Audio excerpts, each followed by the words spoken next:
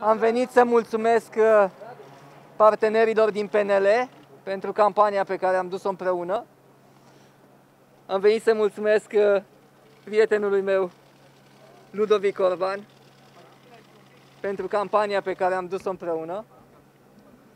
Vreau să asigur bucureștenii că începând de mâine o să înceapă, începând de peste 10 zile, când o să fie depus jurământul, o să înceapă o altă administrație a Bucureștiului, o administrație care să fie, în primul rând, parteneră cu cetățeanul, o administrație care să folosească energiile deosebite ale acestui oraș, să fie parteneră cu mediul de afaceri, să fie parteneră cu mediul academic, cu specialiștii, cu ONG-urile, cu asociațiile profesionale.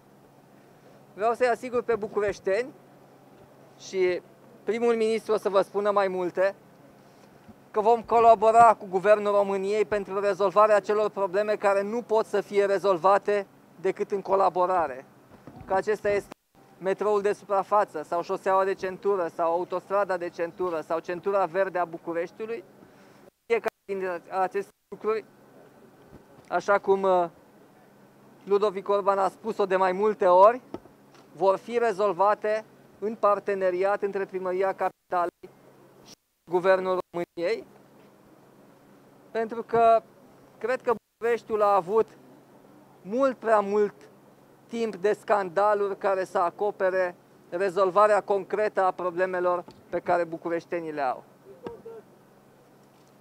Atât am avut de spus, e o seară foarte frumoasă, chiar de Mâine ne vom apuca de muncă pentru ca să fim pregătiți în momentul în care vom depune jurământul și primarii general și de sectoare și majoritățile din uh, Consiliul General și din Consiliile Locale ale sectoarelor. Nu ne dezamăgiți! A treia oară când candidați la primăria capitalei și se pare că a treia oară reușiți. De ce ați reușit de data asta? A treia oară cu noroc? Fiecare din uh, încercările de până acum au fost, în opinia mea, mari succese.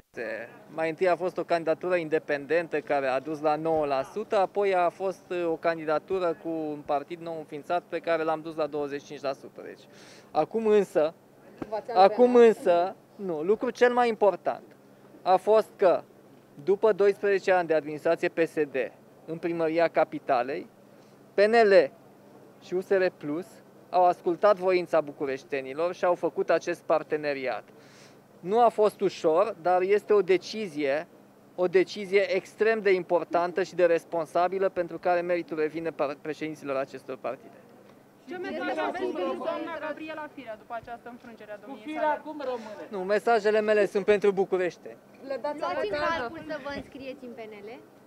Apă caldă, căldură. Gestionarea primăriei capitalei este o chestiune extrem de serioasă. În momentul acesta, o primărie în faliment, o primărie cu probleme structurale uriașe pe ce înseamnă trafic, poluare, clădiri cu risc seismic, termoficare, energia mea în perioada imediat următoare se va dedica București. Dar nu excludeți această Împotriva posibilitate. primăriei, domnule Nicu Șordan. Bună seara! Vă veți retrage plângerile Nu. împotriva primăriei? Bună seara!